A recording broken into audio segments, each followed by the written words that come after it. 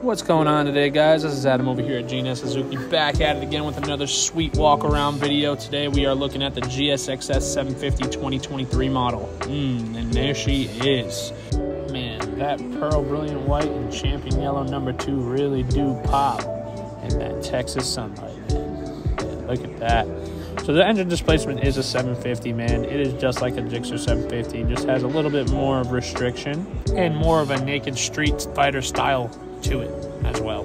This puppy comes equipped with four piston Nissin brake calipers, squeezed twin 310 millimeter wave style brake rotors up front with a single piston rear caliper out back that helps deliver control stops. The GSX-S 750 also has its Suzuki's advanced traction control system, which allows you to select through three different modes.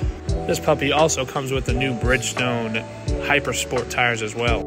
So we do have one of these in stock, guys. If you guys can do me a favor and comment, share, smash the subscribe button, do whatever you have to do to blow this thing up. It'd be greatly appreciated. Come see us, located 1001 Scott Avenue, downtown Wichita Falls, Texas, 76301. Man, thank you guys and see you soon.